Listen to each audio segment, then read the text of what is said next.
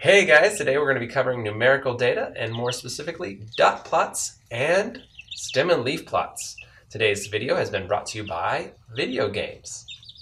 So while you get to the lesson, Nugget and I are going to play some video games. So let's get to numerical data. So we're going to talk about specifically stem and leaf plots and dot plots.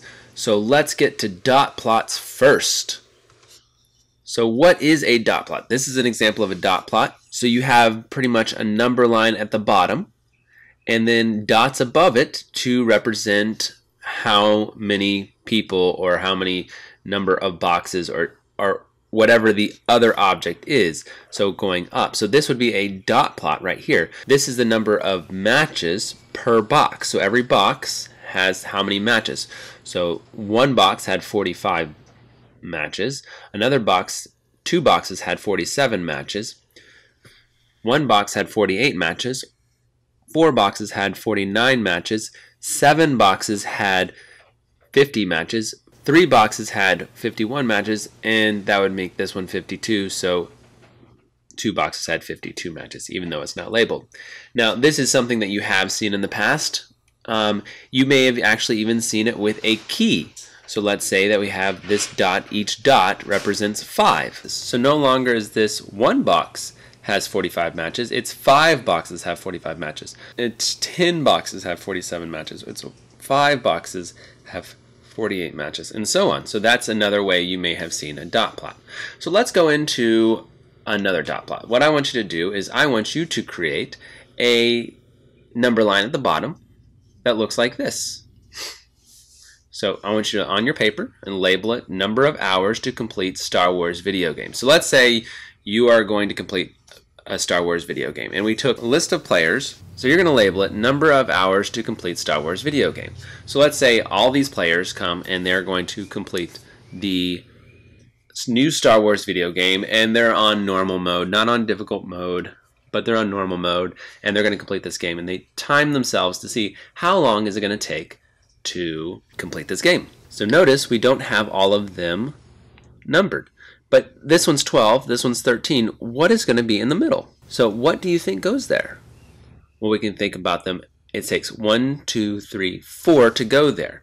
So we can think about these as fractions, or we can think about them as decimals. All right, so think about that. And now let's look at the data set, the numbers that we are going to put onto ours. So let's say all these players recorded how long it took them, and this is the amount of time it took them. Now notice they are decimals.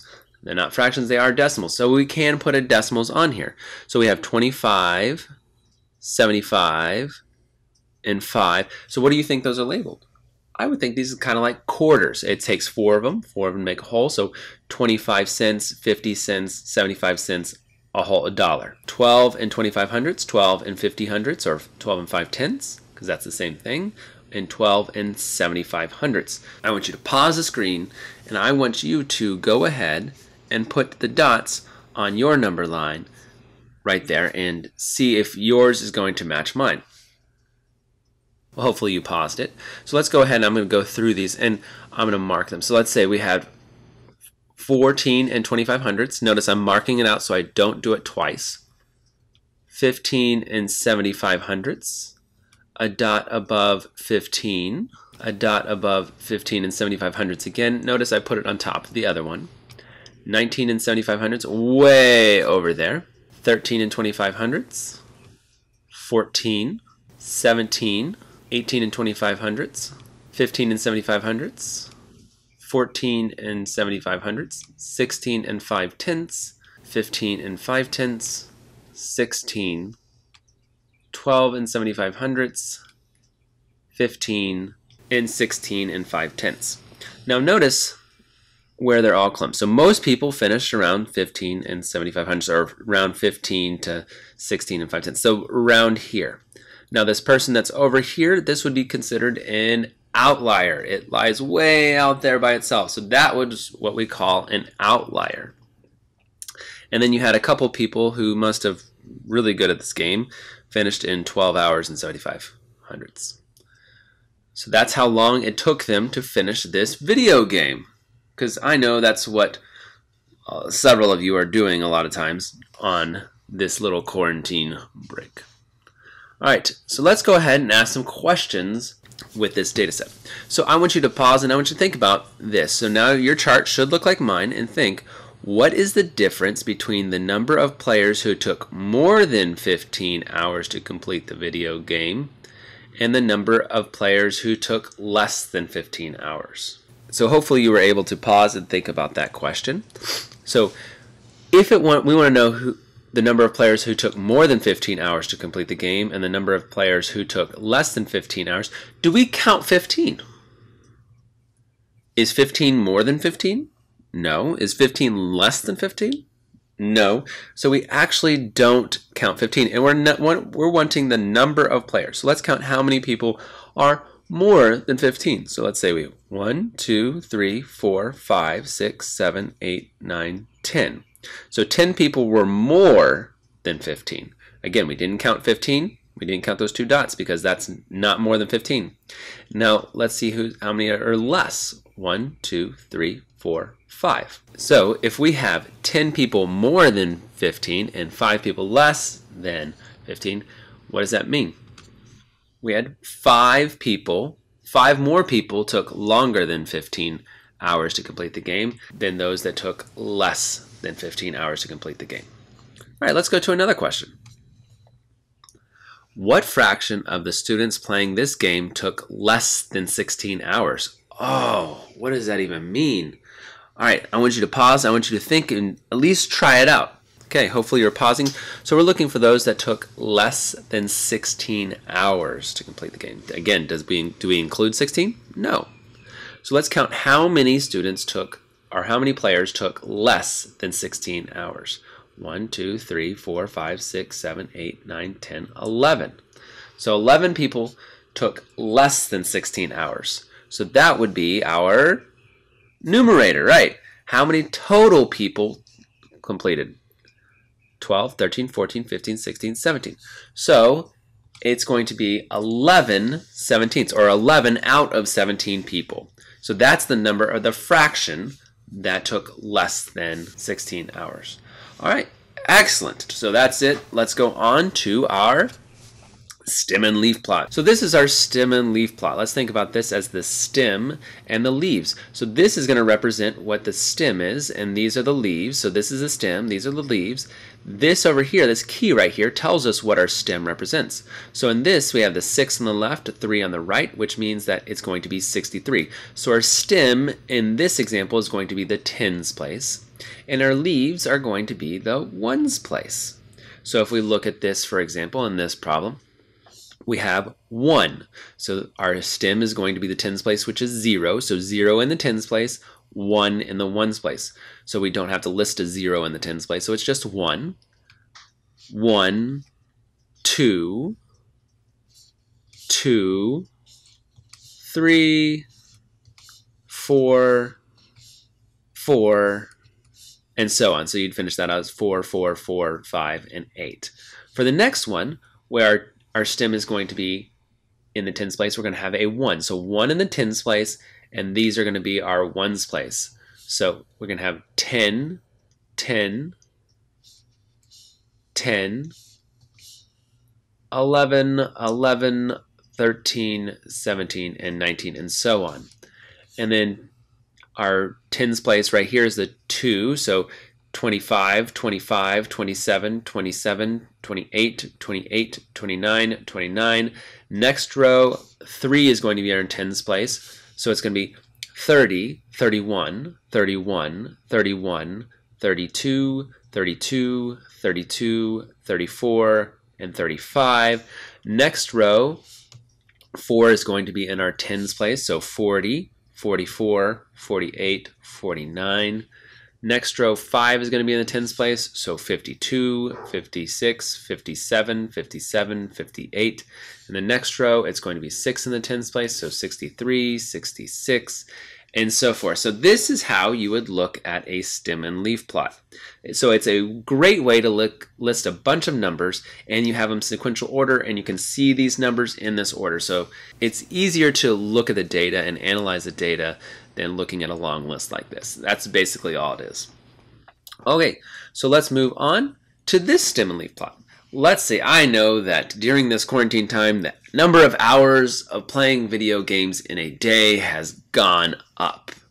So I want you to go ahead and create this stem and leaf plot here. So you can have your stem over here, which is going to put 0 through 7 over here, leaf over here, and you are going to use the key as 0 over here, and then a fraction 1 fourth equals 1 fourth. Okay, so hopefully you pause and you have your chart now. So you have your stem and leaf plot ready to go. Now notice that this 0 and this 1 fourth equals 1 fourth. So this means that this is actually going to be in our ones place. So the 0 is the ones place. So the stem is the ones place. And everything else over here is going to be the tenths place or a fraction. So I want you to go ahead and I want you to list these numbers where you think they would go on the stem and leaf plot, knowing that the stem is going to be the ones place and the leaves are going to be the fraction or the tens place. So I want you to go ahead and pause and think about it. Let's kind of go over the first row and check to see how you're doing. If I look here, I'm looking for how many zeros. So zero tells me I'm going to have a 0 in the ones place, and a 0 in the tenths place. So that would go over here as 0, 0. So this is what our number would actually look like. So 0. So some people don't even play video games in a day. That's all right. That's great. So you don't play video games, and that's fine. So you would label that like that. And I have now I have two of those. So I should have two zeros on my stem and leaf plot. So I can cross those out and I'm going to have, now let's look for the next one. I would look for the next smallest number. So do I have something else where zero would be in my ones place? Well, yeah. So let's think about this on a number line. What would come next? So I know we have 0 and 1, and we're looking for something between 0 and 1. And let's think about this as our benchmark fraction. So 1 fourth, 1 half, 3 fourths, 1 whole. Well, do I have 1 fourth here? Yeah, I have a fourth right here. So we have one fourth. So I'm going to, so it would look like zero wholes, so zero for my stem, one fourth for my leaf. So I'd put a one fourth there. And I can cross that over here. So do I have any more one fourths? Nope. But I do have a half. I have two halves. So I have two of them circled. So I'm going to have two halves or two zero and one half because our whole number is going to be zero. And so I'm going to have two halves on my leaves. So two leaves, that's a half, so count for those two halves. I can cross those out. And so now I look, do I have any three fourths? Well, I have three of those. I have three three fourths. So three, zero, and three fourths. So I can put three of those three fourths over there. I can cross those out. And then that would be pretty much all of my zero as my whole numbers. So now you have the rest of them. I want you to see if you did not get this, I want you to see if you can pause and I want you to see if you can finish it now knowing what we just did. Well, hopefully you were able to pause. If you didn't, if you're following along and you didn't need to, that's okay too. All right, so let's think about if our stem is 1. So that means we're going to have a 1 in the ones place. So let's see, we'd have 0, 1, and 0 tenths, 1 and one fourth, one and a half, 1 and a half, 1 and 3 fourths. So we have all of those and we cross those out. So notice we had a 2 with nothing on it, nothing to the right of it, so we just put a 0 there. We had actually a couple of those. So we had two twos. We had two, one, two and one fourth, two and a half, two and a half, two and three fourths. So those counted for those. Let's go with our stem is three. If your stem was three, you should have three, two that are just three, and one that is three and a half. What if we have four? Oh, wait. Now notice there are no fours over here. So do we put a zero for the four if there's no fours? No, we're actually going to skip it. We don't put a anything there. It's just going to be blank to the right of that four because there's no letters. If we put a zero, that means there is a four over here, which there is no four, so we just leave it blank. So we go to the five, which is five and three fourths. So we just put the three fourths there, and our last one is going to be seven and three fourths, so we put a seven and three fourths. Now that person plays a lot of video games. Geez, that's a lot of time spent in a day. Seven and three fourths hours, but you know, some people do it. All right, so that would be, again, our outlier on this question. All right, so let's go ahead and think about some questions. What are some questions we could ask for a stem and leaf plot? What can we do? Let's think about this. What is the sum of the three greatest number of hours played? So what's the sum of the three greatest number of hours played on video games a day? Go ahead and pause if you haven't already and solve this. All right, so let's think about the three greatest hours played. So top, we're going to think about the top three. So seven and three fourths, five and three fourths, three and a half. And we're going to add those three up. So let's write them over here to the right. So seven and three fourths, five and three fourths, three and a half. Now when we add fractions, what needs to be the same? Our denominators! So let's change it so our denominators are the same. So what do they have in common? Well, I could change this one to have a 4, and which means that they'd all have 4. And if I multiply my denominator by 2 to equal 4, I have to multiply numerator by 2 to make that 3 and 2 fourths. So now we have 7 and 3 fourths plus 5 and 3 fourths plus 3 and 2 fourths. So we can just add those up. If we add our fractions, that is going to be 3 plus 3 is 6 plus 2 is 8. So that's 8 fourths and 7 plus 5 is 12, plus 3 is 15. So we have 15 and 8 fourths. And you're right, that is an improper fraction. So we need to change that to a mixed number. 8 divided by 4 is 2, so we have two more whole numbers right here in this fraction. So 2 plus 5 is 17. So now we have answered that question. Excellent. Let's go to our last question. What is the difference between the number of students who played video games more than two hours and the number of students who played fewer than two hours? So what is the difference between those two? Pause and solve. Okay, so if we're looking for the difference between the number of students who played more than two hours and the number of students who played less than two hours, are we including two hours? No. So we would actually just count all of these students. Now it doesn't want to know the fraction totals, it just wants to know the number of people. So each one of these leaves represent a different person. So we don't include two, so we're going to count all of these. One, two, three, four, five, six, seven, eight, nine. Nine were more than two hours. One, two, three, four, five, six, seven, eight, 9, 10, 11, 12, 13.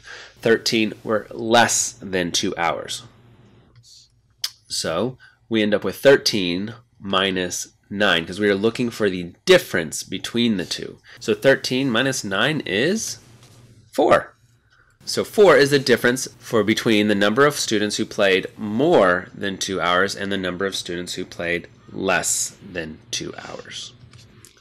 All right, well that has been a numerical data video lesson. That's it. So let's get back to those little chickies.